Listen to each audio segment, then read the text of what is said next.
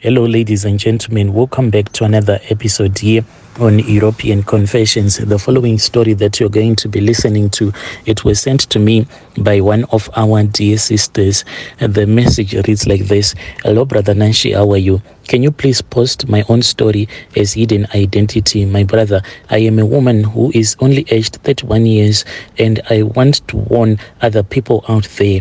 These red garment prophets, yo, they are going to do you really bad. Yes, they can assist you, especially if you want this thing of go back to sender. They can assist you, but if you meet someone who is evil, someone who has evil intentions against you, you are going to suffer. As for me, I am suffering right now. This man has since told me that if I want, I can go wherever and report him. But he told me that he is going to make my kids to suffer. And this man, he is very powerful. Believe you me, Brother Nashi, when it comes to spiritual powers, he has spiritual powers. He says that he was given these spiritual powers by God. The story that he told me is that after he had finished his O level, he then went into the mountains. It was him and this other guy, but the guy is his relative. But that guy is not a red garment prophet, he is doing the white garment prophet as well. He has a lot of customers. Most of the rich people, you see them driving their big cars, but what you don't know is that at night, these people they are touching some scary evil stuff. I will tell you about this other South African man who actually sacrificed his own family. The thing that I saw, Brother Nashi, it makes me not to want to go even to report this guy to the police, even though he abused me a lot and he made me to turn against my own relatives. Even right now, I am still trying to reconnect with my mother, especially my mother.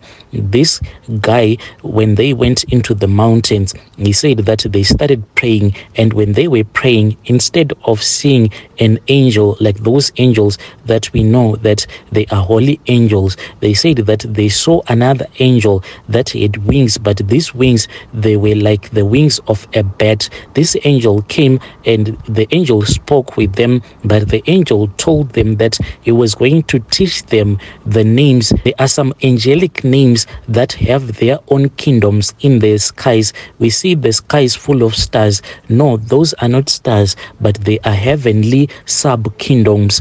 So instead of praying directly to God, you can actually pray towards the direction of those heavenly kingdoms. He was taught those names by that black angel that appeared to him. He said that this angel that appeared to him in the mountain, he said that the angel was surrounded by a black smoke. He could not even actually see his own face. The only thing that he saw were the wings because the wings they were too big, so the smoke could not cover the wings entirely. And this angel even spoke with him in our local Shona language. And the angel asked him if he was willing to do anything so that he can become powerful. As for his cousin brother, the cousin brother ran away. Maybe that is the reason as to why he is still a white garment prophet. But he said that he remained behind and he knelt down before that angel. The angel told him that this mountain, it was an ancient mountain where this angel had actually flown down from heavens like in the ancient ancient days. So this is the reason as to why this angel was keeping this mountain as a forbidden holy mountain. The angel said even though the local villagers think that the mountain it is just forbidden because in that mountain that is where the kings are buried the chiefs are buried. But the angel said that it was the one who gave this oral tradition each and every generation. It was twisting the story because in that mountain when it was falling down from heaven it died in that mountain. Then it rose up again. So each and every generation of humans that lived in that area kept on giving this oral tradition to all the generations and it changed the oral tradition to fit the new generation. Like in this generation it will shift the history of that mountain so that it can remain as a forbidden mountain. That man he was told this story by that dark angel. He was given some powers, especially how to call the names of those angels, the forbidden names. So that is what he uses when he is prophesying. He has this name that he call of the prince that stays there in the skies, who has his own domain. It is quite difficult to understand, Brother Nash, because it is not something that anyone can just understand. But with time, I was able to understand because what he will do is that he would go with me outside. Since we were staying in the location, we would walk a little bit until we would have arrived in the bushy areas where the lights were not affecting us, when people would have switched on their lights at night. When we would go to a bushy area that is very dark, he will start to show me the stars and he would tell me the stars by their names. And to my surprise, some of these stars, when you Google them,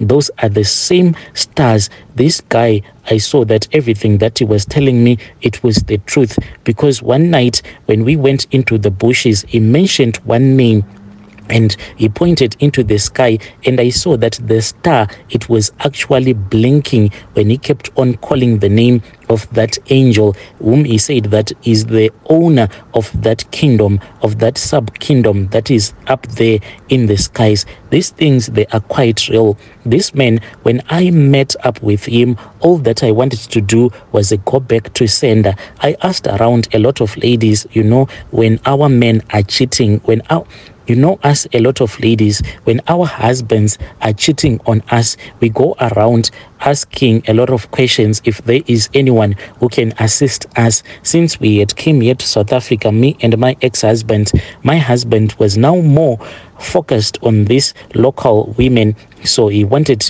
to date this South African woman. And when they started dating, there was no money that was now coming into the house. And I was really hurt. He then started taking some of my money because we had saved some money. He was now taking that money, spoiling his new South African girlfriend. All that I wanted was to go back to sender. What I wanted to happen was that I wanted this South African woman a private part to close up at least maybe for a year so that she won't be able to go on her periods or to urinate I wanted her to feel the pain, the pain that I was feeling. But when I was given this number, I went to that prophet. The first time that he set his eyes on me, he said, You are such a beautiful woman. I don't even understand why your husband will ever cheat on such a beautiful woman like this. I didn't know that he had already started inserting these seducing thoughts in my mind. When I left his house, he gave me these river stones and he said, Place these river stones underneath your pillow. Brother Nashi, his words that he had told me, those words when he said that I am such a beautiful woman, he does not understand why a man will try to cheat on me. Those words kept on ringing in my ears. When I arrived back home, the moment that I placed those stones underneath my pillow, I started to have sexual dreams, me and him having intercourse. He called me one day to his house. He said this was the final day of the final prayer. He asked me if I had any dream at all. At that time, Brother Nashi, I was already sitting on his bed because his room was quite small. You know that mukuku, the mukuku, you know those mukukus, they are quite small. So there is only space for a bed, a stove, and a TV. So I was sitting on his bed. He was preparing some holy oil that he wanted to rub around my hands so as to chase away the bad luck before we can start doing the go back to sender. And then I told him that I had some strange dreams. You were coming to me, but you were naked, and your manhood was really strong and powerful. And I enjoyed like I had never enjoyed. But I think that it is just the work of the devil. Those are spiritual husband. He turned around and he said, No, no, no, no. And he made me to sleep on the bed. He then took this other small metallic cup that was full of cooking oil that he said since he had prayed on that cooking oil it was now holy oil and he started to rub the, the, cooking oil on my hands massaging me. And the way that he was giving me that massage it was really good and i felt so much pleasure. He kept on moving his hands until he had his chest around across my chest as he was massaging me on my other hand until he finally slept on my breast The moment that he pressed his chest around my breast, it was just too much, Brother Nashi. I felt so much pleasure, and he started kissing me on the neck and he said, Do you want it? But Brother Nashid, this man, when I said no, he then got on top of me and he removed my underwear and he rubbed that cooking oil on his private parts and he said that he wanted to insert the cooking oil into my private parts. I then said, No, I do not want you to do that. But his manhood was already in my private parts. He made love to me, and after that, he got off and he started wiping himself. And he said that he was sorry, and I started crying. He gave me more prayers that I was supposed to use. That is how I ended up running away from my husband, and I started staying with this red garment prophet. Whilst I was staying with him, him and this other man that he was working with, who was also a red garment prophet, they were once called by this other man there in Durban, Brother Nashi. I was even scared that if they go there, maybe something is going to happen. But he said that the angels were going to protect him. When they went to that family's house there in KZN, when he came back, Brother Nashi, he had this other big bag that was quite heavy to lift. He had been promised a lot of money. That family ended up donating a car to him because what he did is that he destroyed their tokoloshi after the man that used to work with my ex-boyfriend had gone back to his place that was when my ex-boyfriend said have you ever seen a tokoloshi before? I said no i am not sure if i want to see it. He then said no don't worry i am going to show you. Then he opened up that black bag and he removed this horn. It was a cow's horn this horn, there was oil that was coming out of it. It was like someone kept on polishing it, someone that was invisible. Later on in the evening, when he had closed that black bag, we were just watching TV. So he was sleeping on the other side of the bed, and I was sleeping on the other side. I was the one who was able to see everything. I saw that the bag, out of the bag, there was blood, a lot of blood that was coming out. I then jumped and I started screaming. He also woke up and he took his cross and he started praying over that bag. Then the blood just disappeared and he started laughing. I said, Where is this blood coming from? He said that this tokoloshi, it is about to die. It is vomiting all of that blood. It is trying to vomit the blood of all the people that has been sacrificed by this family. So that angel that assists him, what the angel had done is that it had turned the blood so that it can become poisonous. So this tokoloshi, it was being killed by the poisonous blood that it had once drank from the inside. So it was trying to save itself by vomiting all of that blood. Brother Nashi, if you have never had a tokoloshi screaming, then you do not know anything about spirituality. A tokoloshi's scream, it is quite terrifying. It screamed the way that it was screaming just imagine that you try to slaughter a cat the way that the cat will be screaming out of fear. That is exactly what was happening. That was the sound that was coming out of that black bag. It was quite a terrifying sound. Even up until today the sound has never left my ears.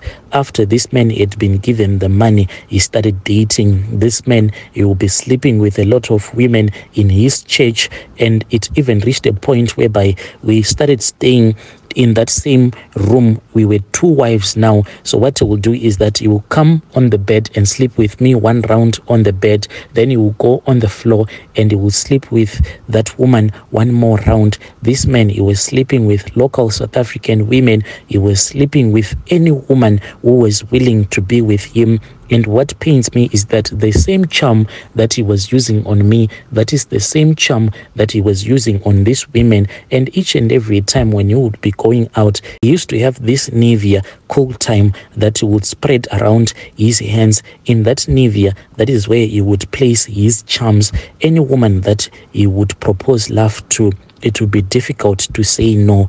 As for me, Brother Nashi, I found it to be very hard for me to tell him that you are cheating on me, all that I could do was I would cry. And when he would see me crying, he would take me and he would take me to bed. Whenever you would be on top of me, I would feel as if this is the best life. You would even make love to me during the day when his second wife will be busy cooking. He was using us as if we were sex toys and we were enjoying it until we started sleeping together on the same bed. He would download some movies those adult movies and they will say do this to me. What these women are doing those women that will be having a threesome. Then we'll start to touch each other until something clicked on me and i said this thing that we are doing it is just bad. Me kissing another woman me running away from my own husband to be with this prophet. Now this prophet is another